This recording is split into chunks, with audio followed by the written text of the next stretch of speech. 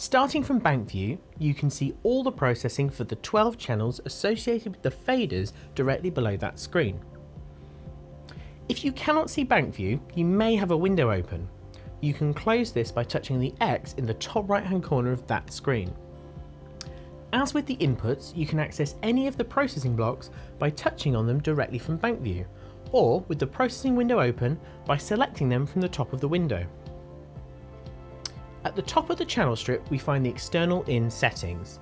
This screen allows us to patch an input directly into the mix bus.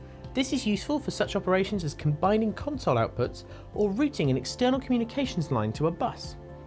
If a socket with a preamp is assigned, the preamp controls will be displayed here too.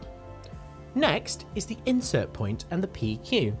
These will be covered in more depth in a later video. All mix buses have a 28 band GEQ.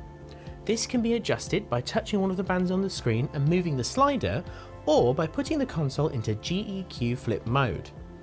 This is done by pressing the GEQ button on the console and touching the bus on the touch screen.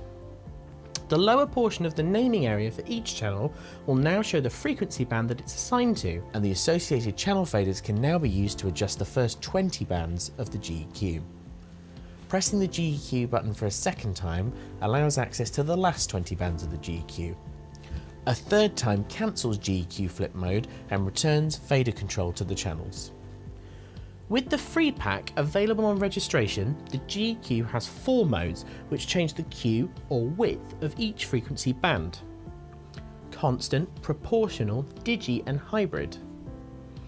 An RTA of the PAFL signal is shown behind the GEQ this can be useful for identifying feedback frequencies in monitors. After the GEQ, you will find the compressor, which has been covered in detail in its own video. Then finally, the delay tab.